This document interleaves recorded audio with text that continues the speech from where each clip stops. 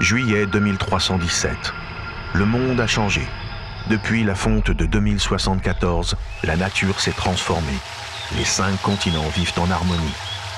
Des êtres exceptionnels assurent l'équilibre partout sur le globe. On les surnomme les justifiés. Pourtant, une série d'événements viendra tester le courage des habitants d'Atlantus, puis Alien, Paris ou encore Fort Chipagimo. Mais savez-vous ce qu'est un réverbeur?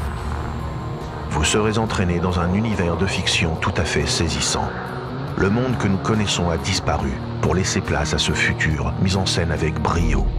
La faune et la flore y tiennent une place essentielle pour mieux nous rappeler leur importance à l'heure actuelle.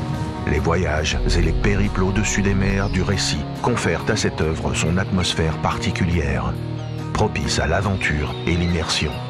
Les nombreux héros forment ensemble une compagnie attachante et loyale, les compagnons idéaux pour cette lecture pleine de surprises. Une aventure palpitante qui vous amènera à découvrir des nouveaux mythes et légendes. Réverbeur, tome 1, Le Voile. Écrit et produit par Simon Paget. Narration et réalisation par Jean-Marc Brissat.